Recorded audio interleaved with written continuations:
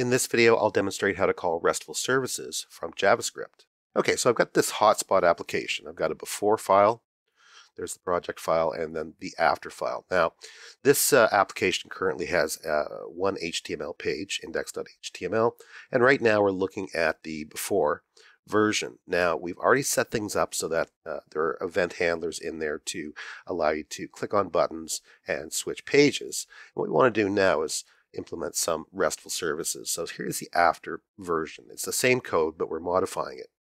Now, there are several steps I'll explain. Let's go ahead and maximize this. Step one is to set the media items array to an empty array.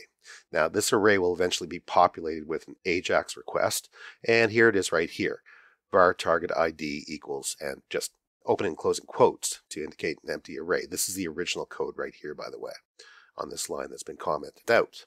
Next is to find the build page one DOM line and delete it. So here we've commented it out. And in its place, we're going to add the get media IDs method, which makes an AJAX request and stores the result in the empty array that we created in the previous line. So here it is right here. Function get media IDs, and there's the code. Now, the next step is uh, step four, where the web media manager slash resources slash media web service returns only a listing of the media item IDs, and there are no details or vote records returned. So for each media item, two additional web service calls have to be made in order to obtain the full set of information. So we're going to add a line invoking the get media items method, and there it is right there. Then we're going to add a line invoking the get media IDs. That's actually IDs, not items method. And here's the line right here. Now let's move down. Now the next step is to add a get media details ID function, and that, that'll make a web service call to obtain the details of an individual item, including the item's title and URI. So this would be an image of some sort that we could vote on. And the Web Media Manager slash Resources Media ID web service should already return a JSON response. And so here's the function right here. Now next what we want to do is create the Get Media Votes ID function that will make a web service call and uh, obtain the voting record of an individual item. So the idea here is to get the vote and then return a value depending on what button we click. Remember, we have a, an option of like or dislike. Now, the next is the get media IDs method uh, that we created in step three, and it makes a web service call and then loops through the results of that call. Now, during that loop, for each item in the results, uh, get media IDs calls the get media details ID and get media votes ID functions.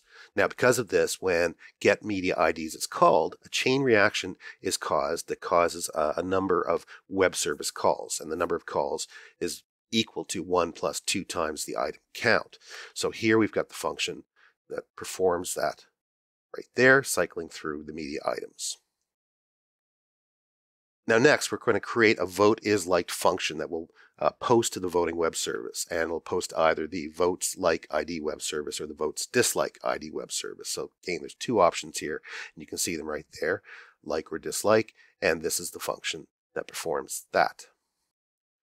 Now, next we're going to modify the like button event handler to call the vote function with a true argument. So we're going to replace console.log liked, which was in the original code. Let's go back and take a look at that.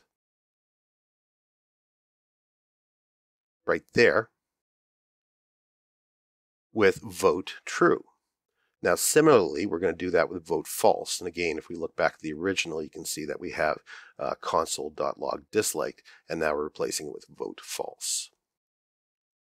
And then finally, what we're going to do is modify the update vote totals function and to call the get media votes function for each element in the media items array. The update vote totals function is called when the refresh button is pressed. So we're going to replace console.log and this code right here. Let's go and take a look at it over here, right there.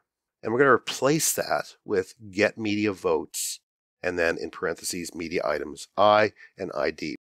We're going to cycle through the media items again and modify that update vote totals with this line.